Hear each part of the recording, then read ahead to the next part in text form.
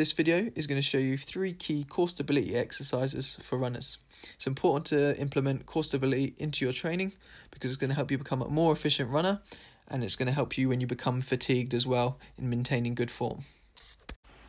The first exercise is called back extension. We place the Swiss ball under our torso and then we just extend through the spine.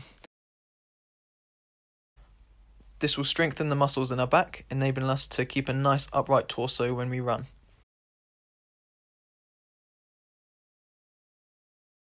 Next up is a side plank.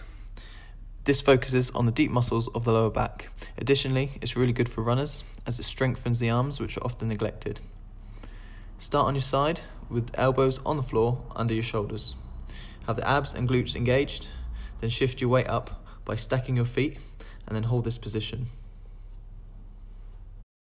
If you want to challenge yourself a bit more, we can just do a nice side leg lift,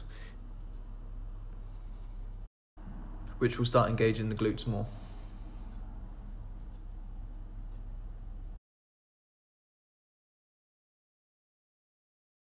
The last exercise is going to be an ab rollout. So kneeling with arms supported by the Swiss ball. Keep the abs engaged before you start this, then slowly roll forward onto your elbows.